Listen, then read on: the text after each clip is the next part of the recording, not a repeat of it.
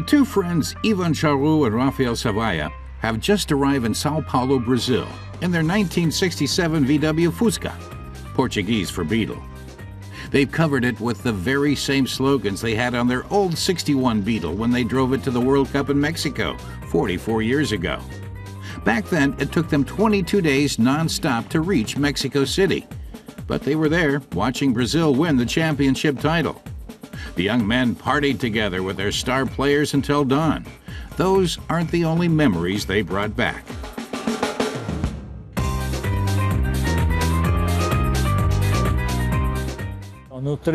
Rafael remembers Pele's impressive headers, amazingly loud. It was louder than Rafael could shoot with his feet.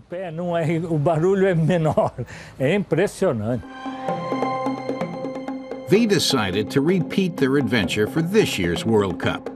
With any luck, they'll be cheering their team on to the title. That would be perfect. And this time, it would be even in their home country.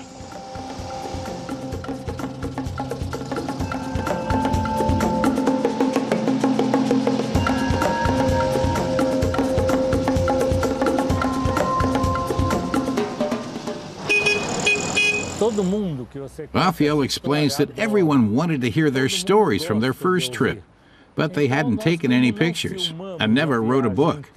So they decided to relive their experience and catch it on camera.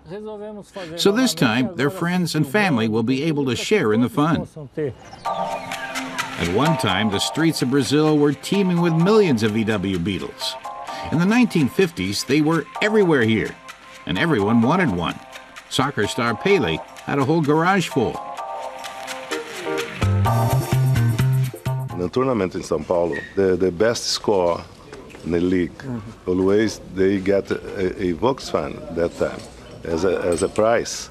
No, I was uh, four or five times you know, the best okay. squad. I have all the the, the, the, the, the selection, the collection of, uh, of Volks. I the Beetle is still a cult car in Brazil. Whether tuned or factory original, low riding or classic, the Brazilians love their bug-eyed bug, their Fusca. Vintage car fans get together in collectors clubs all across the country.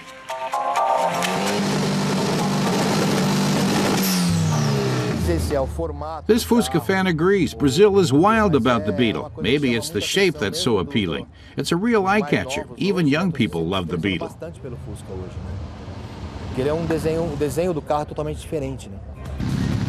Something special. That's exactly what Rafael and Ivan are hoping for too. Another chance to cheer on their team and to celebrate another World Cup victory. Like their Beetle, real Brazilian soccer fans keep going. And going. And going.